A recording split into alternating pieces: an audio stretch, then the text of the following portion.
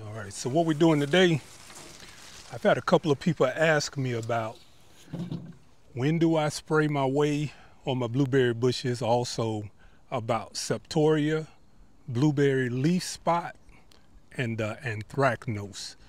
All three of those are one thing that I use, and that's the whey formula that you see me spraying around the garden. I'm gonna go ahead and remove some of this pine bark nuggets off the bottom here one of the things you want to keep in mind when you have uh, septoria, black spot, or anthracnose, as the fall comes, all your leaves are going to fall. You want to remove all those leaves that are on the bottom because that's going to be the spread of your funguses going back into next year. So you want to make sure that you remove those. Now, if you look down here, you'll see I have no leaves down here in my bed. That is a no-no. You do not want to have leaves on your blueberry bush bed because that is how that septoria, and anthracnose, and leaf spot spreads and it carries on throughout the season. So we're already in year three and we've already gotten to our maximum height. So we're good in terms of the growth rate that we expected out of this bush. Now we'll go over here. This is our Northland and our Northland too, third year. And the Northland's already in its four to six foot range and you'll look down here at the bed, you'll see no leaf drops. This is the main mistake that I see a lot of people make with their blueberry bushes. They allow those leaves to stay down. That carries over any of the funguses into the next season. So you're not gonna get rid of the septoria, the anthracnose, or the leaf spot. Now with this bush here, this is our bless your heart. Now you can see the bless your heart has lots of leaves down here. That is a breeding ground so you'll see we have our pine bark nuggets up under that. We do not want these leaves in our bed. So what I try to explain about the maintenance of your bush going into the fall and into the winter, your bush is gonna go dormant and it's gonna drop its leaves. That's perfectly fine. We wanna make sure that we keep these beds clean. Having my bushes in these containers like this, this makes that so much simpler. I'm gonna ahead and do my fall fertilization on this first, and then we're gonna spray it with our whey and I'm going to show you how I keep anthracnose, septoria, and leaf spot from all of my bushes. And this is my normal routine with all my blueberry bushes and why growing them in these beds like this makes so much sense. I'm just going to remove all of our pine bark mulch and go all the way around the bush. And you're going to see why I'm doing this in a second we're exposing the roots of the bush. It's why maintenance is so important with these blueberry bushes. And you'll see here I have about five inches of space before you get down to the soil. For that so we can top that back off with our mulch. Now if you look at this right here, all of this is breaking down already. You see how easy that crumbles? That's because it's breaking down. That's what we want. That's how we know our bacteria and fungi in the soil are doing their job. Now, this is how fast this is. This is my mix.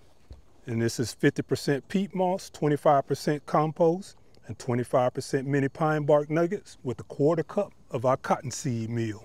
Our feeder roots are gonna go down the outside of our blueberry bush. We wanna go all the way around the perimeter with our new soil and fertilizer.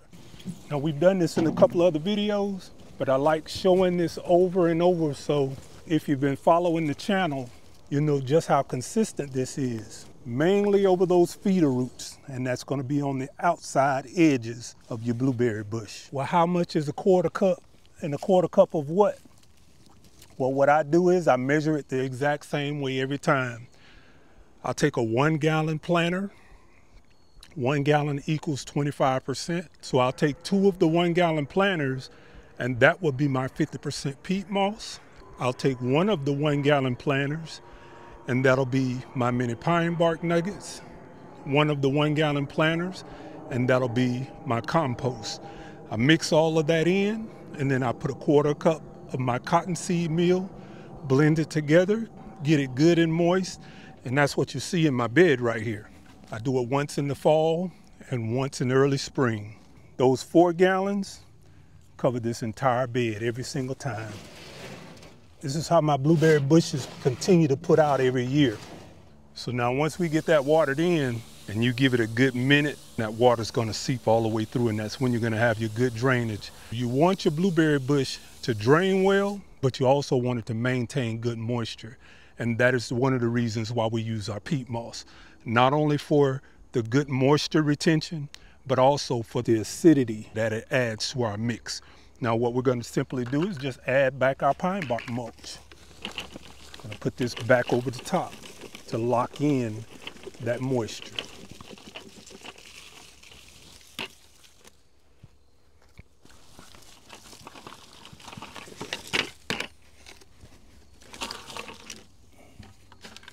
And then you got all your mulch laid back down, we're just gonna go in and just balance everything out.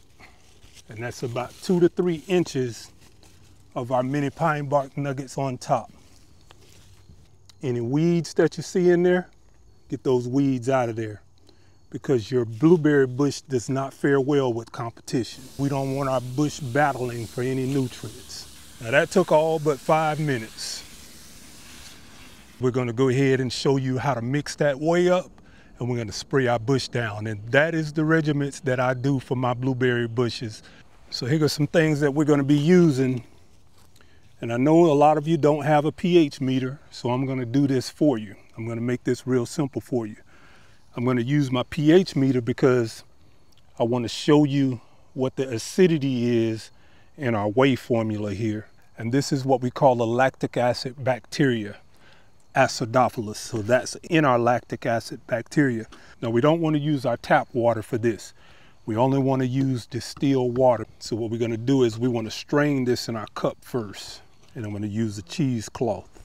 You can see our curds are up top and this is our whey liquid on the bottom. Now this particular one here, I let sit out for like two months because I wanted to see if it'll make a difference in the acidity. So if this can come out to maybe a 4.5, I'd be more than happy with that. So what we're gonna do is we're gonna take our pH meter and we're gonna measure the acidity of our whey formula. So we're just gonna start to pour that in this cup first off.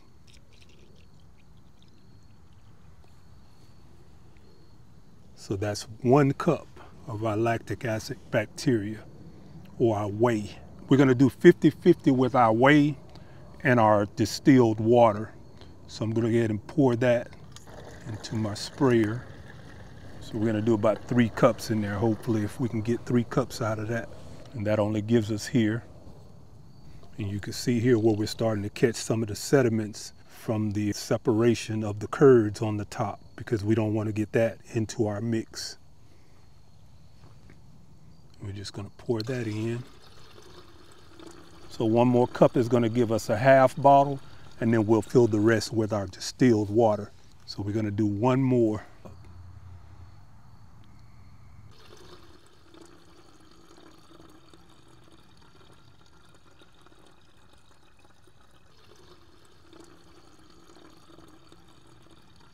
And that's the solids from the milk there.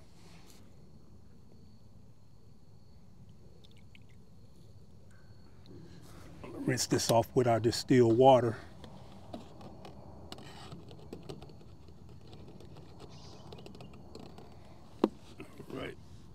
And then we'll just turn our meter on and then we're going to test the acidity of our whey. Now, if we haven't been consistent about anything, we know that our blueberry bush is like a 4.5 to a 5.5. We got our whey formula that's a 4.5 pH. And we're going to go ahead and pour the rest of that in, and that's going to give us half a bottle. That's three cups. So what we're gonna do is 50%. So we're just gonna fill that up to the top.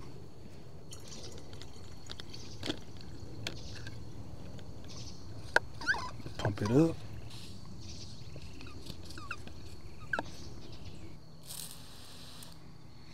All right. So now going back over here to our bush.